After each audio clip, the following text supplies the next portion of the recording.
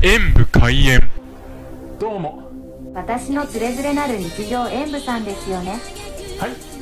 そのいうわけで本日はこちら。こちらの安納芋トリュフという商品を食べたいと思います。安納芋ということはあの甘いお芋ですね。それにトリュフということはトリュフチョコレートということでコーティングされているということでいいのでしょうか。さすがにあの高級食材のトリュフはないですよねでなんかこういうのも入ってます。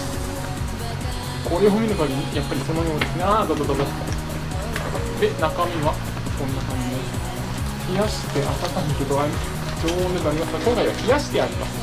ちょっと溶けるとさすがに悲しいのででは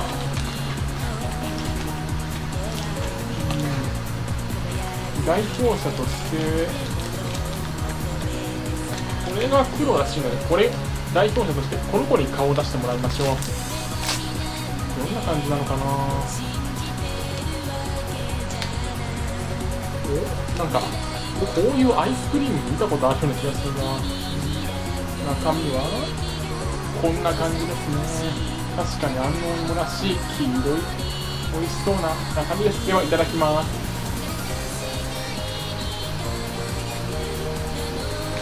安納芋がチョコに包まれてもやっぱり美味しいけどチョコがちょんちょこっと。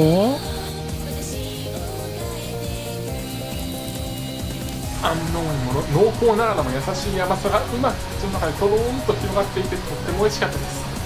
ちょっと食感も楽しめてあんこみたいな感じでそれも良かったですね。ただ周囲にコーティングされているチョコレートがちょっと安納芋に負けている感じがしましたね。安納芋を引き立てる役割はあるとしてももうちょっとチョコレートの味も感じたいと思ったのが残念でした。特に抹茶やいちごキャラメルといった味付けのチョコレートでそれがちょっと目立ってしまったのが残念ですね。最初の2つはあくまでチョコレート自体の味で勝負しているのでまださつまいもと両壁をなしていたのですがフレーバーがちょっと弱いなぁと思えてしまいましたのでこちらの点数とさせていただきます。うん次はもうちょっと違う食べ方だったらフレーバーの味も感じられたのかな。うんどうなんだろう。また機会があればやってみたいです。それでは。夏の空。少女叫ぶなり晴天を。晴天のはずなのに文句をつけたいのでしほどの暑さなのでしょうか。ご視聴ありがとうございました。コメントしていただけると嬉しいです。演武永遠パソコンおよびスマートフォンのアプリの方はクリックをお願いします。